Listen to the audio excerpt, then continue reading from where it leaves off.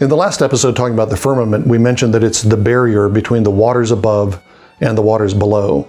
We could also say it's the barrier that lies between God's highest heaven, God's throne room, where God is enthroned, uh, and the earthly realm beneath.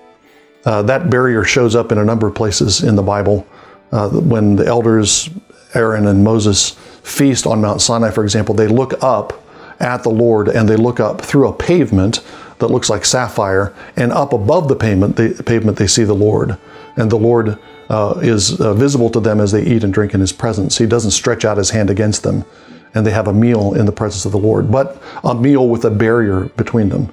Ezekiel sees a similar barrier when he sees the glory of the Lord appear uh, by the river Chebar when he's in exile. He also sees this, uh, this uh, barrier between uh, this firmament that is above the figure that he sees in the midst of the glory cloud. Um, that, that barrier is not a permanent feature of creation. This, I think, is one of the reasons why there's no pronouncement that the second day is good. We, we think that after every everything God does, He pronounces it good. Creates light, separates light and darkness, that's good. He separates the waters and the land and makes the, the plants grow from the land, He says that's good.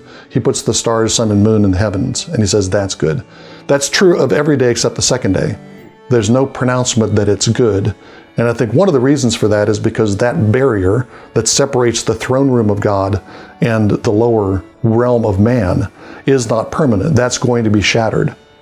We actually see a picture of this shattering in the book of Revelation. Uh, in, some, in some places in the Bible, that firmament, which looks like a solid dome over the earth, is pictured as an ice dome.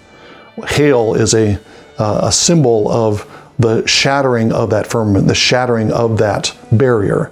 It can be shattered from God's side when God comes in uh, wrath against his enemies or against unfaithful Israel. He breaks through the firmament and he comes with a storm of fire, lightning, and hail. It's hail because he's breaking that uh, that that uh, ice that ice dome from above, and that's what we see in the Book of Revelation. Uh, we see uh, several times where hailstorms appear, especially at the end of chapter 16 in Revelation, where there's a hailstorm with hailstones that are 100 pounds each. And the reason for that is because the whole story of Revelation is about the throne of God, which begins above the firmament with the sea of glass, the firmament sea, the heavenly waters in front of the throne. From that position, when John first sees the throne, to the position at the end of the book where God's throne has come through the firmament, shattered the ice dome, and come down to dwell on the earth. Uh, and that's the uh, uh, that's the the final condition of creation when that barrier between God and man is is gone, the veil is lifted, and the bride and the bridegroom live in fellowship and communion forever.